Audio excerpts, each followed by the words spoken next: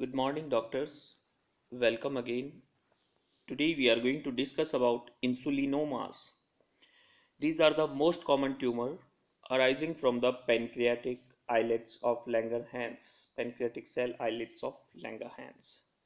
It is difficult to diagnose. Okay. Incidence is 40 to 60 years. Women is more than male so hope it's clear for you. Now low blood sugar we noted here it's less than 40 milligram per deciliters for one year. History of syncope high insulin level and high c-peptide level here no lesion on abdominal ct and mri are noted. Large amount of insulin is produced by beta cell we can say here. And uh, hypoglycemic episodes. Arise from any part of head body or tail. It is 90% benign means non-malignant non-cancerous. 10% is malignant means cancerous. Okay.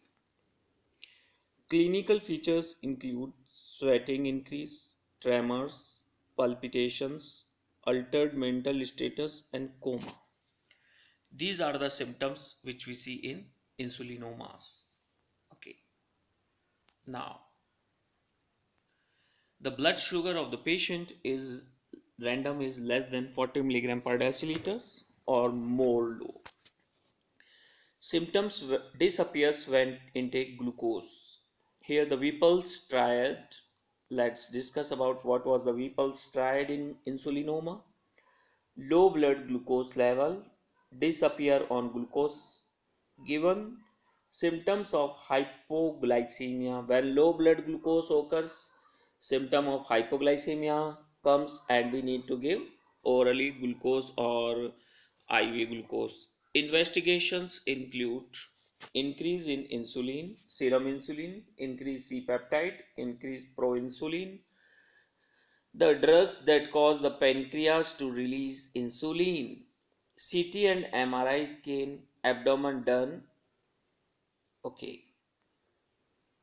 Now, what else we advise patient to do? Endoscopic USG, octreotide uh, scan, triple one in octreotide scan, pancreatic arteriography, pancreatovenous sampling for insulin, and treatment is if tumor is localized then go for surgical excision.